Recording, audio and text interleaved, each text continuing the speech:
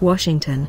The U.S. Air Force has no immediate plans to put its nuclear-capable B-52 bombers back on 24-hour alert, although officials have acknowledged the service is making improvements to facilities that could support a change in status should U.S. Strategic Command make that decision.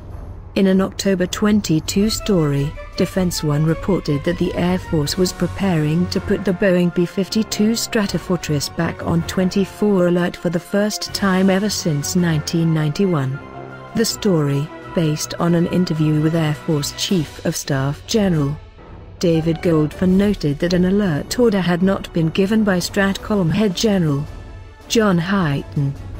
The report ignited a firestorm of media attention from mainstream publications that interpreted the return to alert status as a foregone conclusion, not as a possibility, and questioned whether this was yet another sign of increasing tension with North Korea.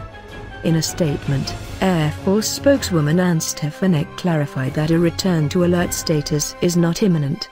However, she acknowledged there are preparations happening albeit of a more mundane sort, that would support a future decision to return B-52s to a 24-hour alert should combatant commanders decide to do so down the line.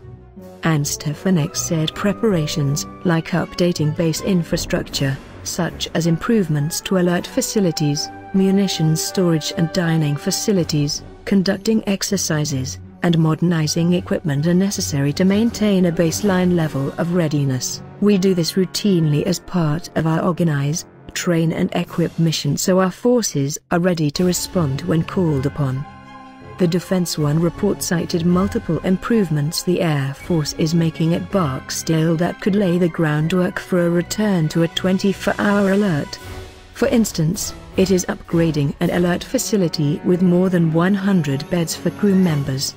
Although B-52 crews could potentially use those spaces, it would more likely house the crews of the four nuclear-hardened E-4B Doomsday planes that regularly pull 24-hour alerts.